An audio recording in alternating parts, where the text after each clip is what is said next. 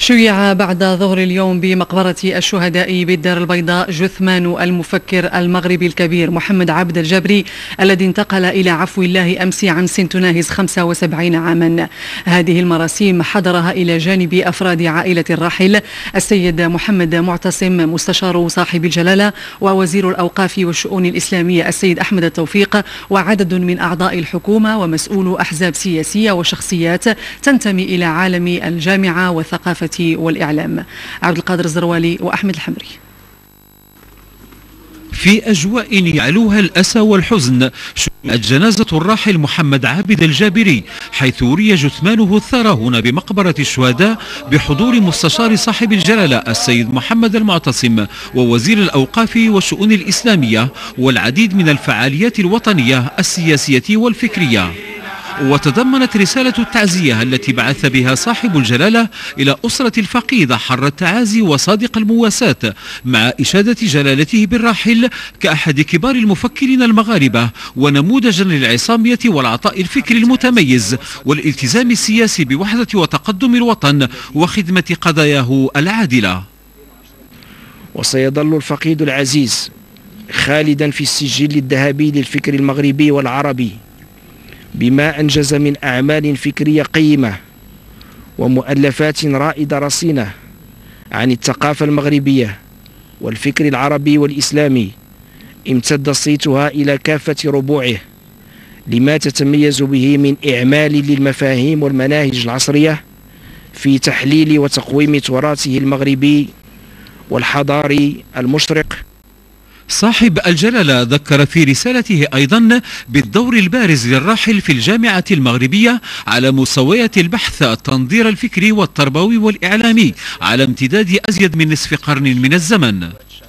أه، أود أن أغتنم هذه الفرصة لأتقدم أه، لصاحب الجلالة بكامل الشكر والتقدير لهذه الالتفاتة الكريمة التي نعتز بها ونعتبرها التفاتة للفكر والمفكرين والإبداع آه، بصفة عامة كما عهدنا ذلك في صاحب الجلالة. تغمد الله الفقيد محمد عابد الجابري بواسع رحمته وألهم أسرته وذويه الصبر والسلوان وإنا لله وإنا إليه راجعون. الخارجية الفرنسية اعتبرت أن وفاة المفكر والفيلسوف المغربي محمد عبد الجابري دي الصيت والسمعة الطيبتين خسارة كبيرة بالنسبة للمغرب ولعالم الفكر والفلسفة. وأضافت أن فرنسا تقدر عاليا هذا المفكر والفيلسوف الكبير الذي لقيت أعماله نجاحا جماهيريا داخل فرنسا وخارجها. ونتابع شهادات أخرى في حق الراحل محمد عبد الجابري الراحل آه، فقيد محمد عبد الجابري هو واحد من الوجوه البارزة والمتميزة في بلادنا بحيث جمع بين التفكير والثقافة وبين النضال. وأعتقد أنه يعني قدم للفكر العربي بصفة عامة والإسلامي بطبيعة الحال ما يجب أن يتابع لتصحيح الوضع والخروج من الأزمة التي يعيشها الفكر العربي بصفة عامة.